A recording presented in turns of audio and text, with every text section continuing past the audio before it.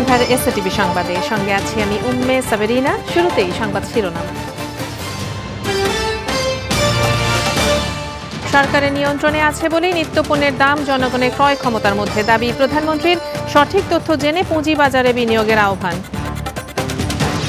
নির্বাচন প্রশ্নে আন্তর্জাতিক কোনো চাপের কাছে মাথা নত করবে না সরকার, বললেন কাদের। তফসিল ঘোষণার আগেই খালেদা নিঃশর্ত মুক্তি দাবি বিএনপির। খালেদা জিয়ার অনুপস্থিতিতেই কারাগারে অস্থায়ী আদালতে চ্যারিটেবল ট্রাস্ট মামলার শুনানি। জামিনের মেয়াদ বাড়ানোর আবেদন ব্যাখ্যা চেয়েছে আদালত। রোববারের মধ্যে কোটা সংস্কারের প্রজ্ঞাপন না হলে ফের বৃহত্তর আন্দোলনের হুঁশিয়ারি শিক্ষার্থীদের। এখনই বিসিএস এর নিয়োগ বিজ্ঞপ্তি না দেওয়ার আহ্বান। মূল্যস্ফীতি ও দ্রব্যমূল্য সরকারের নিয়ন্ত্রণে আছে বলেই নিত্যপণ্যের দাম জনগণের ক্রয় ক্ষমতার মধ্যেই আছে। এমন দাবি করেছেন প্রধানমন্ত্রী শেখ হাসিনা। সকালে বঙ্গবন্ধু আন্তর্জাতিক সম্মেলন কেন্দ্রে বাংলাদেশ সিকিউরিটিজ অ্যান্ড এক্সচেঞ্জ কমিশনের রজত জয়ন্তী অনুষ্ঠানে তিনি একথা বলেন।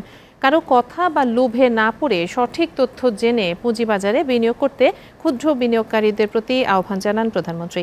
বিস্তারিত জানাচ্ছেন ফারজানা শোভা। শিল্পায়ন ও অবকাঠামোগত উন্নয়ন আর দীর্ঘমেয়াদী পুঁজি সরবরাহে উনিশশো তিরানব্বই সালে প্রতিষ্ঠিত হয় Bangladesh security and exchange commission BSEC কিন্তু প্রতিষ্ঠার পঁচিশ বছরে মাত্র পাঁচশো বাহাত্তরটি কোম্পানি তালিকাভুক্ত হয়েছে। আর মূলধন প্রায় চার লাখ কোটি টাকা, যা দেশের জিডিপির মাত্র বিশ শতাংশ। আন্তর্জাতিক বাজারের তুলনায় এটি অনেক কম। বুধবার সকালে রাজধানীর বঙ্গবন্ধু আন্তর্জাতিক সম্মেলন কেন্দ্রে বিএসইসির রজত জয়ন্তীর অনুষ্ঠানে যোগ দেন প্রধানমন্ত্রী শেখ হাসিনা। প্রধানমন্ত্রী তার বক্তব্যে বলেন, টানা দুই মেয়াদে ক্ষমতায় থাকায় উন্নয়ন হচ্ছে দেশের সব ক্ষেত্রেই অর্জনটা আমাদের ধরে রেখে সামনের দিকে আরও আমাদের এগিয়ে যেতে হবে। সেদিকে লক্ষ্য রেখে আমাদের সকল পরিকল্পনা আমরা বাস্তবায়ন করে যাচ্ছি। সাধারণত বর্ষাকালে আমাদের দেশে সবসময় জিনিসপত্রের দাম বাড়ে কিন্তু আল্লাহ রহমতে দাম টাম বাড়েনি। সবই জনগণের ক্রয় ক্ষমতার আওতার মধ্যে আছে। সরকার প্রধান বলেন বিনিয়োগকারী ব্যক্তি ও প্রতিষ্ঠানের নিরাপত্তা নিশ্চিতে সংশ্লিষ্টদের যথাযথ ভূমিকা রাখতে হবে। পুঁজিবাজার আজকে স্থিতিশীল অবস্থানে উন্নীত হয়েছে। আমি অর্থনীতিকে বেগবান বৃহৎ প্রকল্প বাস্তবায়নে অর্থায়নের ক্ষেত্রে পুঁজিবাজারের অবদান বৃদ্ধি এবং বিনিয়োগকারীর সুরক্ষা নিশ্চিতকরণে পুঁজিবাজার সংশ্লিষ্ট সবাইকে যথাযথ ভূমিকা রাখার জন্য আহ্বান জানাচ্ছি। কারও কথায় প্ররোচিত না হয়ে লোভের বশবর্তী না হয়ে নির্ভরযোগ্য প্রতিষ্ঠানে বিনিয়োগে ক্ষুদ্র বিনিয়োগকারীদের পরামর্শ দেন প্রধানমন্ত্রী। আমি ক্ষুদ্র বিনিয়োগকারীদের অনুরোধ করব যে প্রতিষ্ঠানে বিনিয়োগ করবেন সেই প্রতিষ্ঠান সম্পর্কে সকল তথ্য সংগ্রহ করে নেবেন। সেই প্রতিষ্ঠান সম্পর্কে ভালোভাবে জেনে নেবে। বিনিয়োগ করে কেউ ক্ষতিগ্রস্ত হোক, এটা আমরা কখনো চাই না। আর খুব বেশি যেন লোভে না পড়ে যান। একটা মানে সীমা রেখেই পা ফেলতে হবে। নিজস্ব অর্থায়নে দেশকে এগিয়ে নিতে শত বছরের ডেল্টা প্ল্যানের কথাও এ সময় তুলে ধরেন প্রধানমন্ত্রী শেখ হাসিনা। সেই কামনা করে ফারজানা শোভা এসএ টিভি ঢাকা। সবাই নিরাপদ সড়ক নিশ্চিতে শিক্ষার্থীদের সাথে একমত জানিয়ে তাদের নটি দাবির মধ্যে আন্ডারপাস নির্মাণ সহ বেশিরভাগ দাবি বাস্তবায়ন করা হয়েছে বলে সংসদকে জানিয়েছেন প্রধানমন্ত্রী শেখ হাসিনা। বিকেলে জাতীয় সংসদে প্রধানমন্ত্রীর জন্য নির্ধারিত প্রশ্নোত্তর পর্বে তিনি এ তথ্য জানান। রাজধানীর যানজট নিরসনে ফ্লাইওভার এক্সেসওয়ে সহ ঢাকার চারপাশে উড়াল সড়ক তৈরির পরিকল্পনার কথাও জানান সংসদ নেত্রী। আরেক প্রশ্নের জবাবে শেখ হাসিনা সড়ক দুর্ঘটনা রোধে পথচারীদের ট্রাফিক আইন মানার আহ্বান জানান। প্রধানমন্ত্রী বলেন, অসচেতনতার কারণেই দেশে দুর্ঘটনা বাড়ছে। তিনি এও বলেন, আগামী তেইশ বছরের মধ্যে উন্নত সমৃদ্ধ দেশ হিসেবে গড়ে তোলা সহ স্বচ্ছতা, জবাবদিহিতা নিশ্চিতে সরকারের চেষ্টা অব্যাহত রয়েছে। সৈয়দপুরকে আঞ্চলিক এয়ারপোর্ট হিসেবে গড়ে তুলতে সংস্কার করার কথাও জানান প্রধানমন্ত্রী শেখ হাসিনা আজ সংসদে। কোমলমতি ছাত্রছাত্রীদের নিরাপদ সড়ক সংক্রান্ত নয় দফা দাবির অধিকাংশই বাস্তবায়ন করা হয়েছে। কলেজের সম্মুখে জেব্রা ক্রসিং নির্মাণ করা হয়েছে। দুর্ঘটনা স্থানে রাস্তা পারাপারের জন্য আন্ডারপাস নির্মাণের কাজ আমি বারো আগস্ট দু হাজার আঠারো তারিখে উদ্বোধন করেছি। এই পারাপারের সময় আমি মনে করি সকলকেই অন্তত একটু ট্রাফিক আইনটা মেনে চলা উচিত। এত বড়টা দুর্ঘটনা ঘটলো, এরকম আন্দোলন হলো, তারপরেও আমরা দেখি যে মানুষের মাঝে সেই সচেতনতা নাই। তার যত্রতত্র রাস্তা পার হচ্ছে। পুরো ঢাকা ঘিরে আমরা এলিভেটেড মানে এক্সপ্রেস ওয়ে তৈরি করে দেবো রিং রোড যাতে যাতায়াতের সুবিধা হয়। সংসদ নির্বাচন প্রশ্নে সরকার আন্তর্জাতিক কোনো চাপের কাছে মাথা নত করবে না বলে পরিষ্কার জানিয়ে দিয়েছেন আওয়ামী লীগ সাধারণ সম্পাদক ওবায়দুল কাদের। তার দাবি, সংবিধানের বাইরে সরকারকে কেউ এক চুল পরিমাণও নড়াতে পারবে না। তিনি জানান, নির্বাচনকালীন সরকারে বিএনপি থাকছে না আর সংসদ বহাল থাকলেও অধিবেশন বসবে না। মাহমুদ সোহেলের প্রতিবেদন। ঢাকা পরিবহন সমন্বয় কর্তৃপক্ষের এগারোতম বোর্ড সভা হয় রাজধানীর নগর ভবনে। সড়ক নিয়ে সভা হলেও সাংবাদিকদের নানা প্রশ্নে উঠে আসে চলমান রাজনৈতিক প্রসঙ্গ। মন্ত্রী জানান সংসদ নির্বাচনের আগে বিএনপি মহাসচিব মির্জা ফখরুল ইসলাম আলমগীর যতই বিদেশ সফর করুক আন্তর্জাতিক কোনো চাপের কাছে মাথা নত করবে না সরকার। অভিযোগ দিয়েই যাচ্ছে। দেশের বিরুদ্ধে নালিশ করছে সরকারের বিরুদ্ধে নালিশ করছে।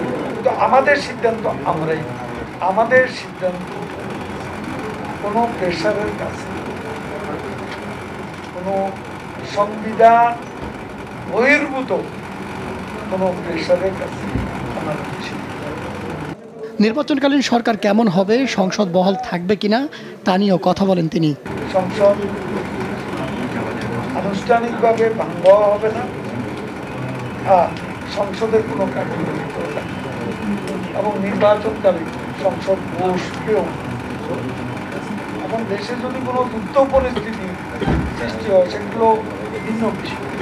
আগামী রোববার সংসদে সড়ক পরিবহন আইন উত্থাপন করা হবে বলেও জানান ওবায়দুল কাদের। সড়ক পরিবহন আইন আমি মন্ত্রী হিসাবে করব। Mahmud Sohel S ATV Dhaka. জাতীয় নির্বাচনে তফসিল ঘোষণার আগেই খালেদা জিয়া নিঃশর্ত মুক্তি দাবি করেছে বিএনপি। সকালে রাজধানী রমনা ইঞ্জিনিয়ার্স ইনস্টিটিউট চত্বরে প্রত্যেকী অনশনে এ দাবি জানান দলটির জ্যেষ্ঠ নেতারা। তারা বলেন, বিএনপি চেয়ারপারসনকে ছাড়া নিরপেক্ষ নির্বাচন সম্ভব নয়। এছাড়া নির্বাচনকালীন সরকার ইসি পুনর্গঠন এবং সেনা মোতায়েনের দাবি জানান বিএনপি নেতারা। মঞ্জু মিলনের প্রতিবেদন। খালেদা জিয়ার মুক্তির দাবিতে রমনা ইঞ্জিনিয়ার্স ইনস্টিটিউট চত্বরে অনশন কর্মসূচি আয়োজন করে বিএনপি। পুলিশের বেঁধে দেওয়া সময়ের আগেই রাজধানীর বিভিন্ন স্থান থেকে নেতাকর্মীরা এসে জড়ো হন ইঞ্জিনিয়ার্স ইনস্টিটিউট চত্বরে। দীর্ঘদিন পর বিএনপির কোনো কর্মসূচিতে যোগ দেন বিশ দলীয় জোটে শরিক, জামায়াত সহ অন্যান্য রাজনৈতিক দল। খালেদা জিয়ার মুক্তি ও নির্বাচনকালীন সরকারের দাবিতে সব আন্দোলনে বিএনপির পাশে থাকার ঘোষণা দেন শরিক দলের নেতারা। খালেদা জিয়ার চিকিৎসার ব্যবস্থা করতে মুক্তি না দিলে সরকার জনস্রোতে ভেসে যাবে বলে হুঁশিয়ারি দেন বিএনপি নেতারা।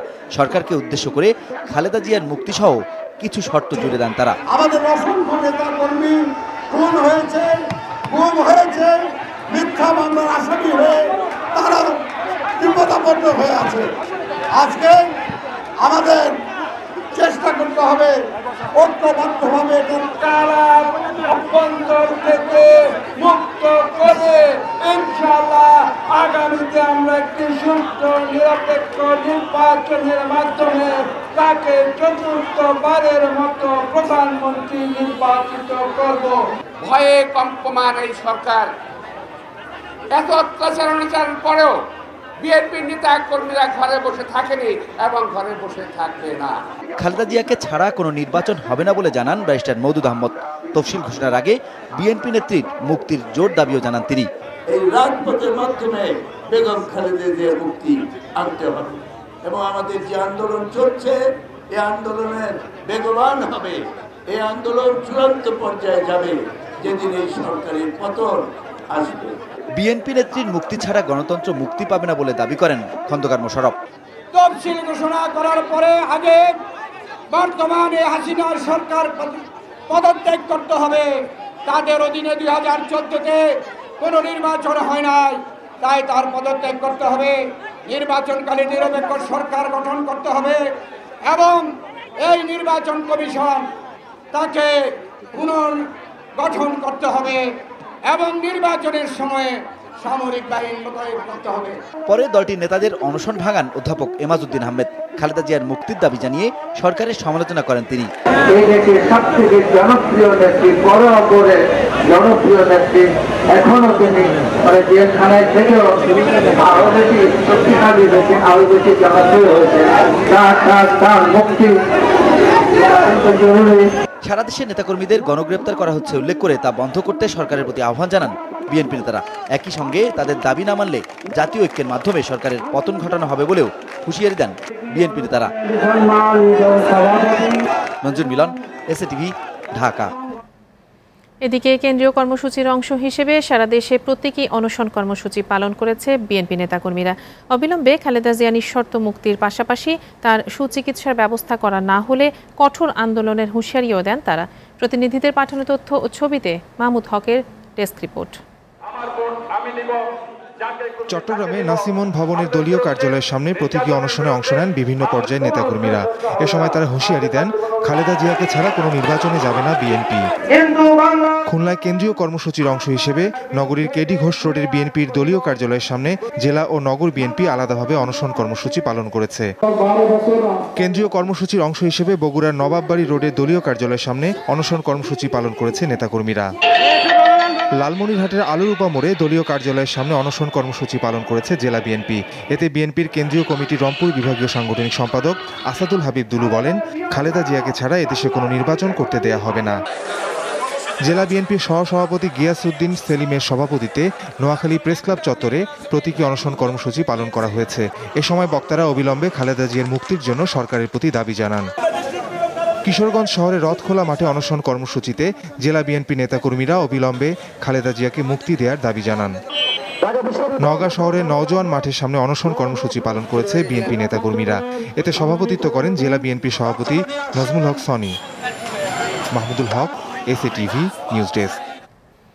Khaleda জিয়ার অনুপস্থিতিতেই শেষ হয়েছে নাজিমুদ্দিন রোডের পুরনো কেন্দ্রীয় কারাগারে স্থাপিত অস্থায়ী আদালতে জিয়া চ্যারিটেবল ট্রাস্ট দুর্নীতি মামলা শুনানি।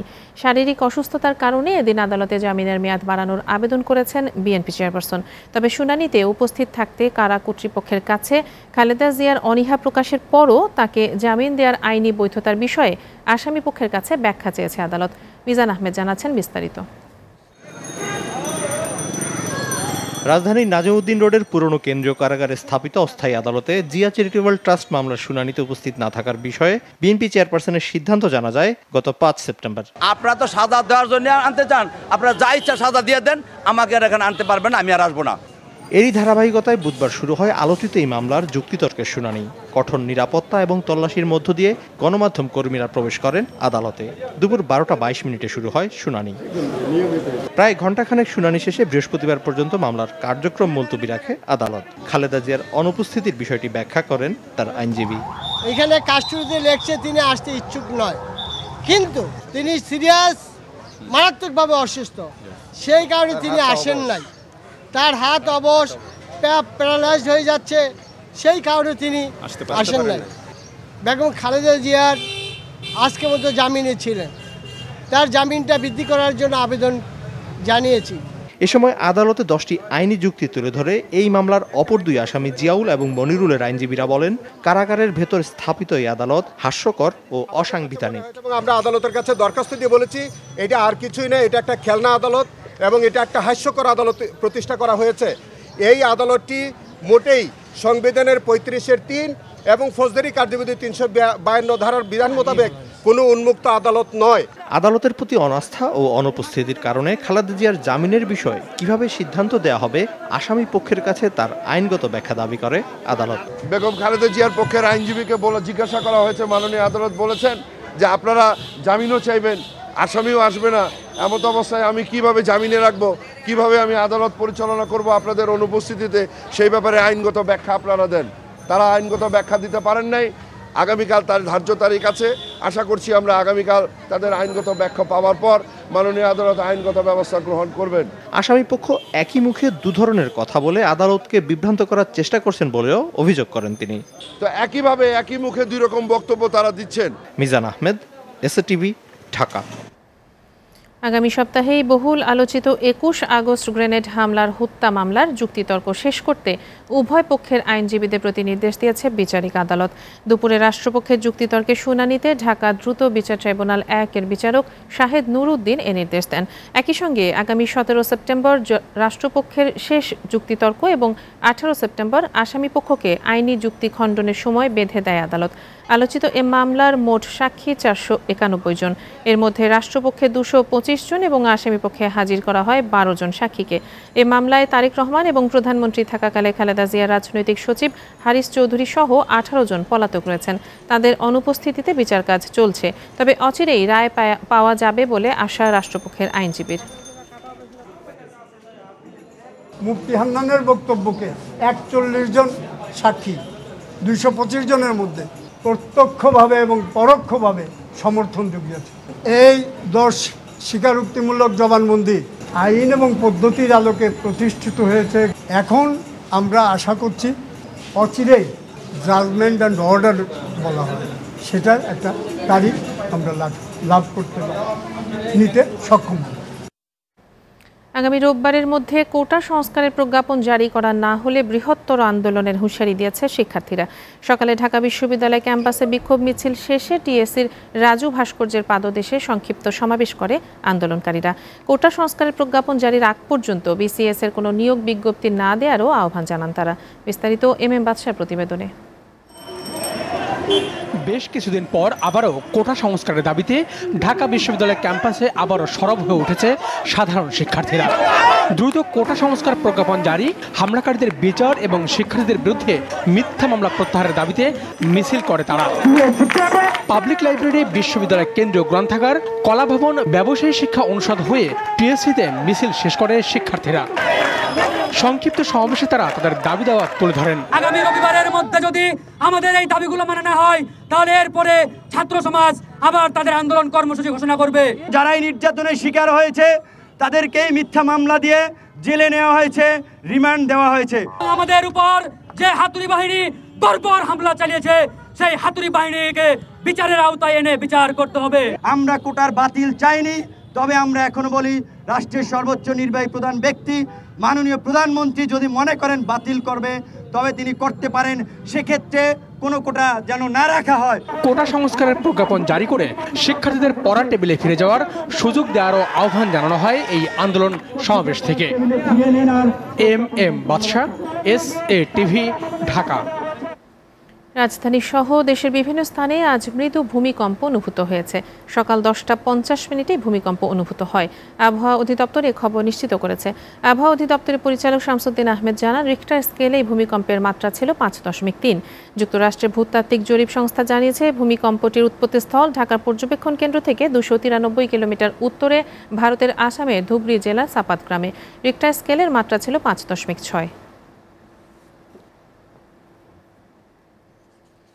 কক্সবাজার চট্টগ্রাম ও মুন্সীগঞ্জে আলাদা সড়ক দুর্ঘটনায় মারা গেছে কমপক্ষে ছয়জন। কক্সবাজার, চট্টগ্রাম মহাসড়কের চকরিয়ার হারবাং এলাকায় কাভার্ড ভ্যানের সঙ্গে ধাক্কায় অটোরিকশার তিন যাত্রী নিহত হয়েছে। সকাল সাড়ে দশটার দিকে হাবরাং ইনানি রিসোর্টের সামনেই দুর্ঘটনা ঘটে। চট্টগ্রামের মীরের সরায়ে সড়ক দুর্ঘটনায় দুজন নিহত হয়েছে। পুলিশ জানায়, সকাল আটটার দিকে বৃষ্টির সময় চট্টগ্রাম থেকে ঢাকাগামী একটি কাভার্ড ভ্যানের সঙ্গে সামনে থেকে আসা আরেকটি কাভার্ড ভ্যানের সংঘর্ষ হয়। এতে সেখানেই চালক কবির হোসেন সহ অজ্ঞাত আরেকজনের মৃত্যু হয়। এদিকে ঢাকা, চট্টগ্রাম মহাসড়কে মুন্সীগঞ্জের গজারিয়ায় যাত্রীবাহী বাসের ধাক্কা এক পথচারী নিহত হয়েছে। সকাল আটটার দিকে মহাসড়কের আনারপুরা বাস স্ট্যান্ড এলাকায় এই দুর্ঘটনা ঘটে। রোহিঙ্গা সংকটের স্থায়ী সমাধানে ওআইসিভুক্ত দেশগুলোকে আরও জোরালো ভূমিকা রাখার আহ্বান জানিয়েছেন সংস্থাটির সংসদীয় প্রতিনিধি দলের মহাসচিব এম জুহাব এম কুরাইশি নিয়াজ। দুপুরে কক্সবাজারের উখিয়ার কুতুপালং শরণার্থী ক্যাম্প পরিদর্শন শেষে সংবাদ ব্রিফিংয়ে তিনি এ আহ্বান জানান। রোহিঙ্গা প্রত্যাবাসন ত্বরান্বিত করতে মিয়ানমারের সাথে যেসব দেশের ভালো সম্পর্ক, তাদেরকেও এগিয়ে আসার আহ্বান জানান ওআইসি সংসদীয় দলের মহাসচিব। এর আগে সকালে প্রতিনিধি দল কক্সবাজার বিমানবন্দর হয়ে সরাসরি কুতুপালং ট্রানজিট ক্যাম্প পরিদর্শনে যান। পরে বেলা সাড়ে এগারোটার দিকে উখিয়ার কুতুপালং নিবন্ধিত রোহিঙ্গা ক্যাম্পে ইউনিএইচসিআর এর ট্রানজিট সেন্টারে যান। সেখানে নির্ধারিত রোহিঙ্গাদের সাথে কথা বলেন তারা। There are some countries who has good relation with Myanmar. Rohingya প্রত্যাবাসনে বাংলাদেশের সাথে যে দ্বিপাক্ষিক চুক্তি হয়েছে তা একটি ভালো দিক। এই সংকটে আন্তর্জাতিক সম্প্রদায়ের বসে থাকলে চলবে না। অবশ্যই রোহিঙ্গাদের পাশে থাকতে হবে। রোহিঙ্গা ক্যাম্প পরিদর্শনে এসে এবং রোহিঙ্গাদের সঙ্গে কথা বলে যে অবস্থা দেখেছি তা সত্যি অবর্ণনীয়। এতে বোঝা যায় মিয়ানমারের রাখাইনে রোহিঙ্গাদের উপর সত্যি বর্বর নির্যাতন হয়েছে। এদিকে বান্দরবানের তমরু সীমান্তে জিরো লাইনে থাকা রোহিঙ্গাদের মিয়ানমারে ফিরিয়ে নেওয়ার সম্ভাব্যতা যাচাইয়ের কাজ শুরু করেছে আন্তর্জাতিক রেড ক্রস কমিটি। সকাল সাড়ে এগারোটায় রাখাইন রাজ্যের ঢেকু বনিয়া সীমান্তে রেড ক্রসের আট সদস্যের প্রতিনিধি দল তমরু সীমান্তে জিরো লাইনের রোহিঙ্গা শিবির পরিদর্শন করে। এ সময় তারা রোহিঙ্গা নারী, পুরুষ ও তাদের প্রতিনিধিদের সঙ্গে কথা বলেন। জিরো লাইনে অবস্থান করা রোহিঙ্গাদের রাখাইন রাজ্যের মংরু এল জেলার তুংপ্লায়ো এলাকায় আশ্রয় শিবিরে নিয়ে যাওয়ার কথা জানায় প্রতিনিধি দল। সেখানে রোহিঙ্গাদের খাদ্য, চিকিৎসা ও শিক্ষা সহায়তা দেওয়ার দাবিও জানায় রেডক্রস কমিটি বান্দরবানের নাইক্ষংছড়ি উপজেলা তমরু সীমান্তে এখন সাড়ে চার থেকে পাঁচ হাজার রোহিঙ্গা বসবাস করছে।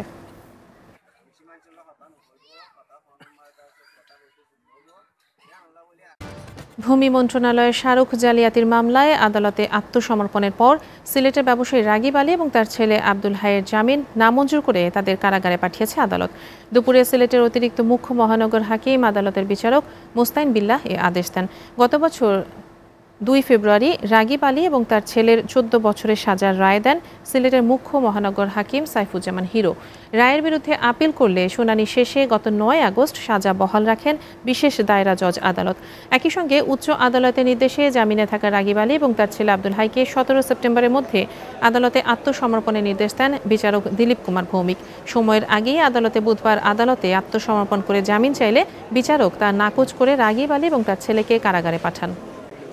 আমরা তিনটা দরখাস্ত দিয়েছিলাম। একটা রিভিশনের শর্তে জামিন চেয়েছিলাম, আদালত নামঞ্জুর করেছেন এবং ডিভিশন টু এর জন্য আমরা বলেছিলাম কোর্টকে উনি বলেছেন জেল কোড অনুযায়ী হবে, উনি একটা নির্দেশনা দিয়ে দিবেন এবং চিকিৎসার কথাও বলেছিলাম। আদালত এটাও আমাদের মঞ্জুর করেছেন, বলছেন জেল কোড অনুযায়ী চিকিৎসার ব্যবস্থা ওনারা করবেন।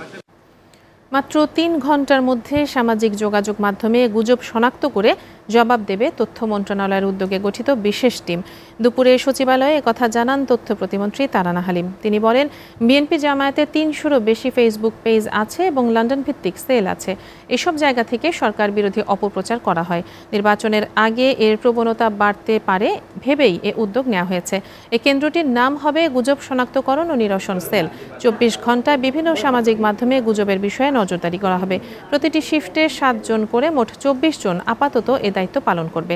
সেপ্টেম্বরের শেষে এ কাজটি শুরু হবে বলে আশা তথ্য প্রতিমন্ত্রী তারানা হালিমের।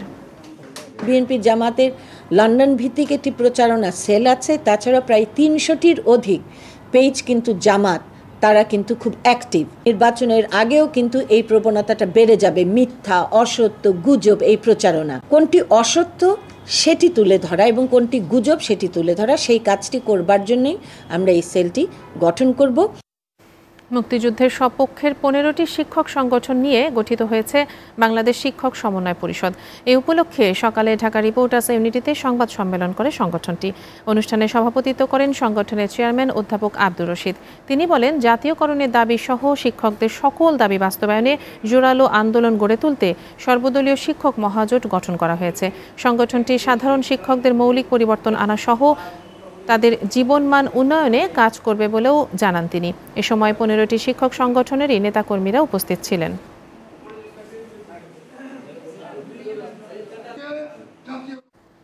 প্রাথমিক বিদ্যালয়ের প্রধান শিক্ষকের সঙ্গে একই যোগ্যতা সহকারী শিক্ষকের বেতন বৈষম্য নিরসনের দাবি জানিয়েছে বাংলাদেশ প্রাথমিক সহকারী শিক্ষক মহাজোট। সকালে ঢাকা রিপোর্টার্স ইউনিটিতে সংবাদ সম্মেলনে এ দাবি জানায় তারা। এ সময় সংগঠনের নেতারা বলেন, একই যোগ্যতা নিয়ে চাকরিতে যোগ দিলেও সহকারী শিক্ষকরা তিন ধাপ নিচে বেতন পাচ্ছেন। তাদের দাবি, উনিশশো তিয়াত্তর সালে প্রাথমিক বিদ্যালয়ের প্রশিক্ষণপ্রাপ্ত প্রধান শিক্ষকের বেতন এবং প্রশিক্ষণপ্রাপ্ত সহকারী শিক্ষকের বেতন একই ছিল। দু হাজার ছয় সালে প্রধান শিক্ষকের পর পরের ধাপে সহকারী শিক্ষকদের বেতন স্কেল নির্ধারণ করা হয়। পরে দু হাজার চোদ্দ সালে ব্যবধান বেড়ে দাঁড়ায় তিন ধাপ।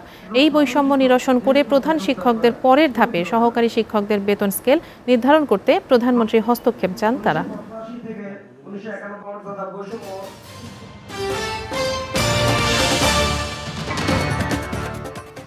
খাদ্যমন্ত্রী কামরুল ইসলাম বলেছেন, এরশাদ ও বিএনপি জামায়াত জোটের শাসনকালে দেশে বিপুল খাদ্য ঘাটতি ছিল। কিন্তু আওয়ামী লীগের আমলে দেশে কোনো খাদ্য ঘাটতি নেই। এখন প্রয়োজন নিরাপদ খাদ্য নিশ্চিত করা। খাদ্য নিরাপত্তা ও নিরাপদ খাদ্য আইন দু হাজার তেরো এর প্রয়োগ বিষয়ে সকালে জাতীয় প্রেস ক্লাবে আলোচনা সভায় তিনি এসব কথা বলেন। তার দাবি, সরকার দেশে ফরমালিন মুক্ত খাদ্য নিশ্চিত করেছে, তবে কেউ কেউ খাদ্যে ভেজাল নিয়ে অপপ্রচার চালাচ্ছে। আগামী নির্বাচনে আওয়ামী লীগ ক্ষমতায় এলে সবার জন্য নিরাপদ খাদ্য নিশ্চিতের প্রতিশ্রুতি দেন কামরুল ইসলাম। ছশো কোটি টাকা খরচে সংস্কার হওয়া হোটেল ইন্টারকন্টিনেন্টালের উদ্বোধন হবে আগামীকাল। বিকেলে বেসামরিক বিমান পরিবহন ও পর্যটন মন্ত্রী A K M Shahjahan Kamal এ তথ্য জানান। সেরাটনের সঙ্গে চুক্তির মেয়াদ শেষ হওয়ার পর বেসামরিক বিমান পরিবহন ও পর্যটন মন্ত্রণালয়ের অধীনে নিজস্ব ব্যবস্থাপনায় রূপসী বাংলা হোটেল নামে এটি পরিচালিত হয়। দু হাজার বারো সালের উনিশ ফেব্রুয়ারি হোটেলটির মালিক company Bangladesh service limited Intercontinental hotels group private লিমিটেডের সঙ্গে ত্রিশ বছরের চুক্তি করে। সেই হিসেবে দুহাজার চোদ্দ সালে সেপ্টেম্বরে বন্ধের পর দুহাজার পনেরো সালে মার্চে সংস্কার কাজ শুরু হয়। মন্ত্রী জানান, হোটেলটি মোঘল স্থাপত্য ও নান্দনিকতায় পরিপূর্ণ থাকবে। হোটেল ইন্টারকন্টিনেন্টের শুভ উদ্বোধনী ঘোষণা করব। মাননীয় প্রধানমন্ত্রী, তিনি এই উদ্বোধন তিনি করবেন এবং তার শুভাগমন করবেন। এটা আমাদের দেশের জন্য অত্যন্ত গৌরব যে হোটেল ইন্টারকন্টিনেন্ট আজকে উদ্বোধন হতে যাচ্ছে। টেক্সটাইল ও গার্মেন্টস শিল্পের যন্ত্রপাতি নিয়ে চার দিনের আন্তর্জাতিক প্রদর্শনীর আয়োজন করেছে সেমস গ্লোবাল। এতে বিশ্বের পঁচিশটি দেশের দেড় হাজার স্টল বসেছে। সকালে রাজধানী বসুন্ধরা আন্তর্জাতিক সম্মেলন কেন্দ্রে মেলার উদ্বোধন করেন জাতীয় সংসদের স্পিকার ডক্টর শিরিন শামীম চৌধুরী। একই সঙ্গে উনিশতম টেক্সটেক বাংলাদেশ ইন্টারন্যাশনাল এক্সপো, চোদ্দতম Dhaka international yarn and fabric show এবং তেত্রিশতম ডাই ফেম বাংলাদেশ এক্সপো সহ তিনটি মেলার আয়োজন করা হয়। বারো থেকে পনেরো সেপ্টেম্বর পর্যন্ত চলবে এই মেলা। সকাল সাড়ে দশটা থেকে সন্ধ্যা সাড়ে সাতটা পর্যন্ত সাধারণ মানুষের জন্য উন্মুক্ত থাকবে মেলা। উদ্বোধন শেষে স্পিকার মেলার স্টলগুলো পরিদর্শন করেন। অবশেষে বহুল কাঙ্ক্ষিত চট্টগ্রাম বন্দরের বে টার্মিনাল নির্মাণের জন্য জমি অধিগ্রহণ প্রক্রিয়া আরও এক ধাপে গিয়েছে প্রথম ধাপে সাতষট্টি একর জমির মূল্য হিসেবে তিনশো বাউান্ন কোটি টাকা জেলা প্রশাসকের কাছে হস্তান্তর করেছে বন্দর কর্তৃপক্ষ। এ মাসের মধ্যে দাপ্তরিক কাজ আর চলতি বছরেই নির্মাণ কাজ শুরু করার প্রত্যাশা জানান নৌপরিবহন মন্ত্রী। আর বন্দর ব্যবহারকারীরা বলছেন নির্ধারিত সময়ে নির্মাণ কাজ শেষ করে নতুন এ নির্মাণ টার্মিনালকে শতভাগ ব্যবহার করতে পারলে বিশ্বের শীর্ষ দশ বন্দরের তালিকায় স্থান করে নেবে চট্টগ্রাম বন্দর। অবশেষে মঙ্গলবার সন্ধ্যায় নগরীর একটি পাঁচ তারকা হোটেলে প্রথম দফায় জমি অধিগ্রহণের জন্য জেলা প্রশাসকের কাছে চেক হস্তান্তরের মাধ্যমে সে জট খুলল। সবকিছু ঠিক থাকলে দু হাজার একুশ সালে শেষ হবে কাঙ্ক্ষিত বে টার্মিনালের প্রথম পর্যায়ের নির্মাণ কাজ। ভূমি অধিগ্রহণের জন্য তিনশো বাউন্ন কোটি বাষট্টি লক্ষ টাকা চেক আজকে আমরা ডিসি চট্টগ্রামের হাতে দিয়ে গেলাম। এই এক মাসের মধ্যে আমাদের প্রক্রিয়াটা শেষ করতে পারব ইনশাল্লাহ এবং এই বছরের মধ্যেই আমরা ফিজিক্যালি এই কার্যক্রমটা শুরু করতে পারব আশা করি আগামীর গ্রিন পোর্ট হিসেবে গড়ে উঠতে যাওয়া এই বন্দর নির্মিত হলে প্রাথমিকভাবে এখানে পাঁচ লাখ কন্টেনার হ্যান্ডেলিং করা যাবে। পর্যায়ক্রমে তা ত্রিশ লাখে উন্নীত হবে। আউটারে কমবে জাহাজের গড় অবস্থান। এই প্রজেক্টের মাধ্যমে আমরা চট্টগ্রাম বন্দরকে এশিয়ার অন্যতম বন্দরে নিয়ে যেতে পারব এবং এশিয়ার অন্যতম ব্যস্ততম বন্দর হবে চট্টগ্রাম বন্দর। দ্রুত এগিয়ে নিয়ে কাজ করতে পারে। তাহলে আমার ধারণা যে আমরা পৃথিবীর অন্যতম একটি বন্দরে রূপান্তরিত হতে পারব। এক এক থেকে দশের মধ্যে আসতে পারব। তবে বে টার্মিনাল নির্মাণের দাবিতে সবচেয়ে বেশি সোচ্চার চট্টগ্রাম চেম্বারের নেতাদের প্রত্যাশা নির্দিষ্ট সময়েই যেন শেষ হয় এর নির্মাণ কাজ। চট্টগ্রাম বন্দরের আরেকটা বন্দর এই বে টার্মিনাল হবে। সেটাই আমাদেরকে বুঝতে হবে এবং এখানে পঞ্চাশ হাজার টনের জাহাজ সরাসরি এখানে নোংর করতে পারবে যেটা এখন কুতুব দিয়ে নোংর করে, সেখান থেকে লাইটারিং করে সেটা আর করতে হবে না। নতুন এই প্রতিষ্ঠানটির নাম বে টার্মিনাল হলেও মূলত এটি পূর্ণাঙ্গ বন্দর। আন্তর্জাতিক বাজারে চট্টগ্রাম বন্দরের সুনামকে কাজে লাগাতেই টার্মিনাল নামে অপারেশন চলবে বলে জানান সংশ্লিষ্টরা। সোহাগ বিশ্বাস এস এ টিভি চট্টগ্রাম। বিদ্যুৎ ও জ্বালানি খাতে সহযোগিতার অংশ হিসেবে বাংলাদেশের জাতীয় গ্রিডে আরও পাঁচশো মেগাওয়াট বিদ্যুৎ সরবরাহ শুরু করেছে ভারত। পশ্চিমবঙ্গের বহরমপুর গ্রিড থেকে কুষ্টিয়ার ভেড়ামারার আন্ত বিদ্যুৎ সংযোগ গ্রিডের মাধ্যমে এই বিদ্যুৎ বাংলাদেশে আসতে শুরু করেছে। তবে নিরবচ্ছিন্ন বিদ্যুৎ সরবরাহের পাশাপাশি অহেতুক সিস্টেম লস এবং লোডশেডিংয়ের কবলে পড়ার আশঙ্কা থেকে মুক্তি চান সাধারণ গ্রাহকরা। কুষ্টিয়া প্রতিনিধি নূর আলম দুলালের প্রতিবেদন। কুষ্টিয়া জেলায় চার লাখ পনেরো হাজার পল্লী বিদ্যুৎ সমিতির ও পিডিবির প্রায় এক লাখ গ্রাহক রয়েছেন। রয়েছে প্রায় দুই শতাধিক ছোট বড় কলকারখানা। আগে দিনে চার থেকে পাঁচ ঘণ্টা বিদ্যুৎ থাকতো না। ভারত থেকে নতুন আরও পাঁচশো মেগাওয়াট বিদ্যুৎ সংযুক্ত হওয়ায় সিস্টেম লস আর লোডশেডিং এর কবলে পড়তে হবে না বলে আশা কুষ্টিয়ার এসব বিদ্যুৎ গ্রাহকগণের। যদি এই বিদ্যুৎটা আসে আমরা হয়তো সারাদিনের ভিতর সাত আট ঘণ্টা বিদ্যুৎ পাবো। এটা আমাদের খুব সুবিধা হবে। আগে আমাদের বিদ্যুৎ ব্যবস্থা ভালো ছিল। নতুন করে আরও পাঁচশো মেগাওয়াট যোগ করাতে আমরা আরও কিছু সুবিধা পাবো। ইলেকট্রিসিটি না থাকার কারণে বাচ্চাদের লেখাপড়ার অনেক ক্ষতি হতো সেটা আর হবে না।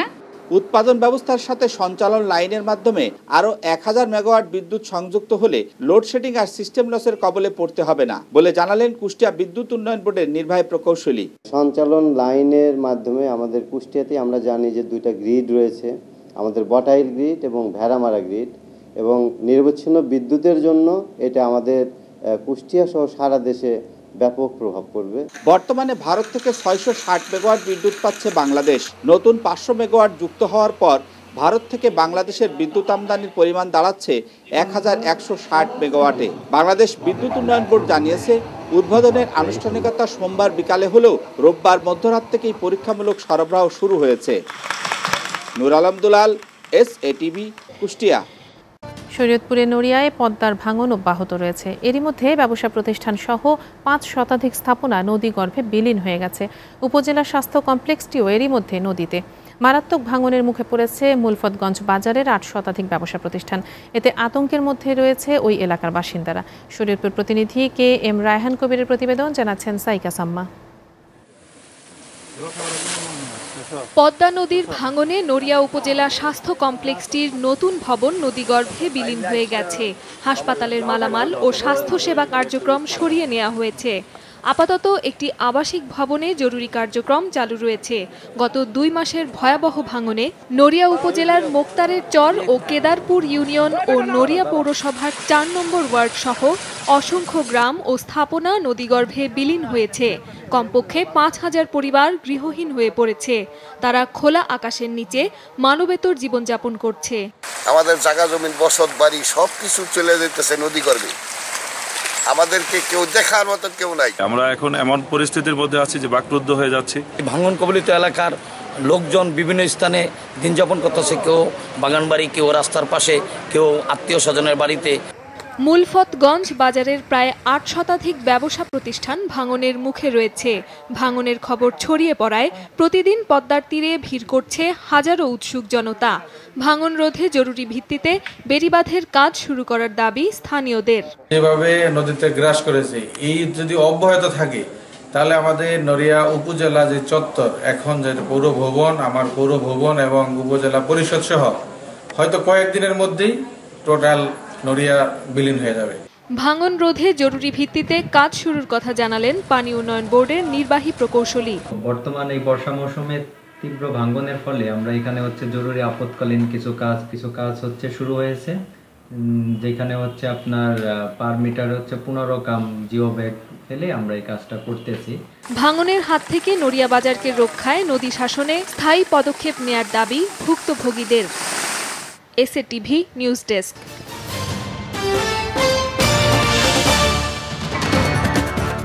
আফগানিস্তানের জালালাবাদে আত্মঘাতী বোমা হামলায় নিহতের সংখ্যা বেড়ে দাঁড়িয়েছে আটষট্টি জনে। আহতের সংখ্যা একশো পঁয়ষট্টি জন। জালালাবাদ প্রাদেশিক সরকারের মুখপাত্র সকালে হতাহতের নতুন তালিকা প্রকাশ করেছেন। পাকিস্তানের সঙ্গে সীমান্তবর্তী প্রদেশ নানগাহারে স্থানীয় পুলিশ প্রধানের বিরুদ্ধে আয়োজিত বিক্ষোভ সমাবেশে মঙ্গলবার এ হামলা চালানো হয়। এক সপ্তাহেরও কম সময়ের মধ্যে এই আত্মঘাতী হামলার ঘটনা ঘটল। রাজধানী কাবুলে এই হামলায় বিশ জন প্রাণ হারিয়েছে। কর্মকর্তারা বলছেন, আগামী নির্বাচনকে কেন্দ্র করে সামনের দিনগুলোতে আরও সহিংসতা বাড়তে পারে।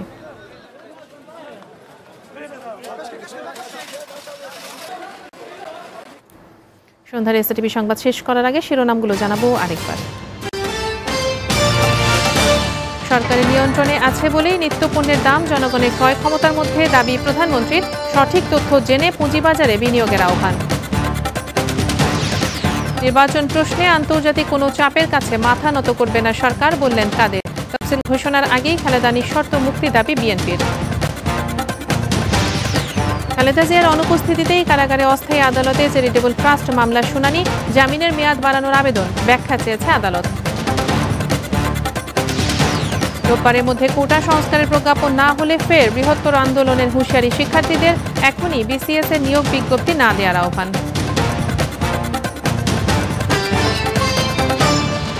এই ছিল সন্ধ্যার এসএটিভি সংবাদে। এসএটিভির সবশেষ সংবাদ জানতে ভিজিট করুন W W dot SATV dot TV এতক্ষণ সাথে থাকার জন্য ধন্যবাদ সবাইকে। পরের আয়োজন মাঠে ময়দানে। সাথেই থাকুন।